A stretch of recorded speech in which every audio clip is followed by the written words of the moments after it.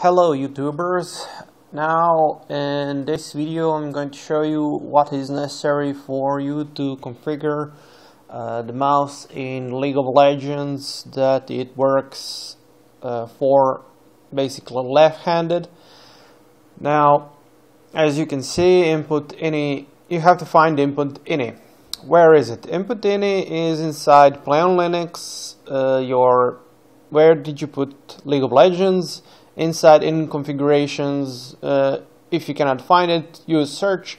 Basically you need to find input.ini located in League of Legends.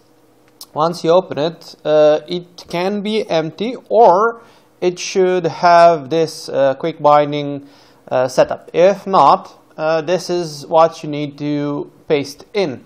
I'm going to leave this in a comment section comment section below so you can use it uh, this is basically uh, the setup of your uh, keyboard uh, shortcuts. So in your mouse settings. Uh, the most important thing here to note is that if this is changed here it will change in the game. If you change it in the game it will not change here. So you gotta watch out what you are copying and, and pasting that's it for today.